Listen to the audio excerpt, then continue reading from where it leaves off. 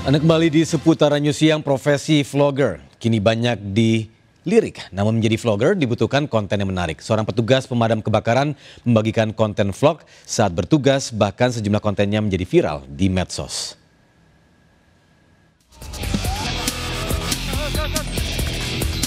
Dicaci warga saat bertugas menjadi salah satu resiko yang harus ditanggung petugas pemadam kebakaran. Pantang pulang sebelum padam menaklukkan kobaran api sudah menjadi tugas mereka meski nyawa menjadi taruhannya.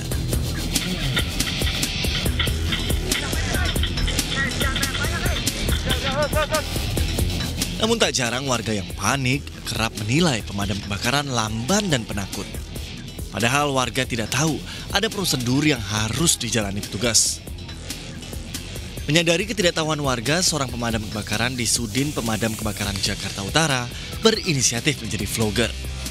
Melalui channel YouTube-nya, Fikri Noval mengajak warganet melihat dari kacamata petugas agar paham beratnya tugas yang ada di pundak mereka.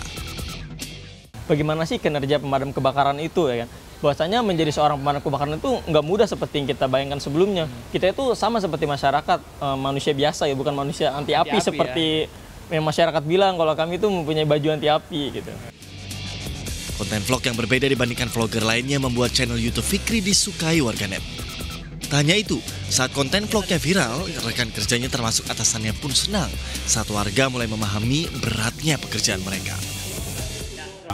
masyarakat tuh kan masih belum memahami apa sih tugas pemadam seperti apa.